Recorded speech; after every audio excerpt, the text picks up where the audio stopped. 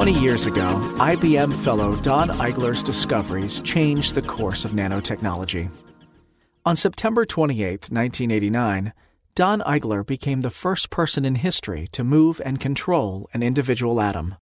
Shortly thereafter, with the help of a custom built microscope, he and his team spelled out the letters IBM using individual atoms, signaling a quantum leap forward in the field of nanotechnology. Dr. Eigler built his scanning tunneling microscope in order to visualize and experiment with individual atoms and molecules. As he experimented, he discovered that it was possible to slide individual atoms and move them using the tip of his microscope.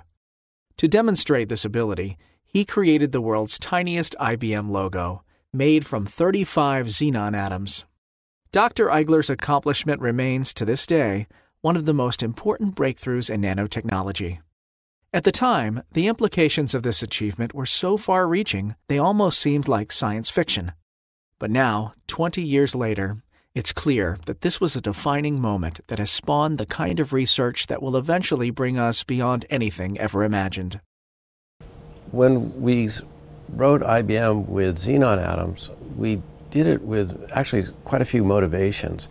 The primary one was scientific. It was to demonstrate that we really had control of atoms at the atomic scale and that we could position atoms in a way that's very similar to how a child would build something with Lego blocks. You take the individual blocks, put them where you want them to go.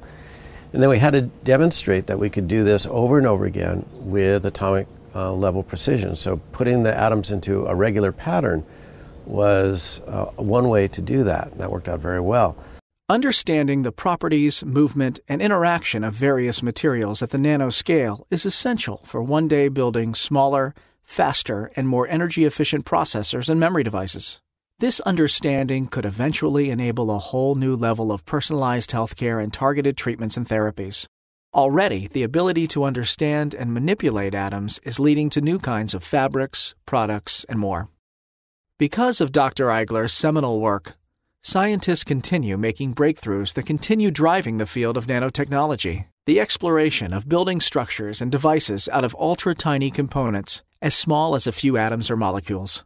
Such devices might be used as future computer chips, storage devices, biosensors, and things nobody has even imagined.